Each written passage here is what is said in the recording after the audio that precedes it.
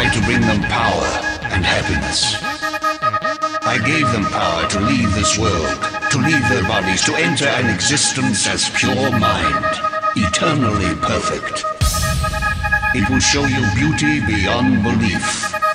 But once you have seen Space-Time 6, will you ever see Space-Time 4 again?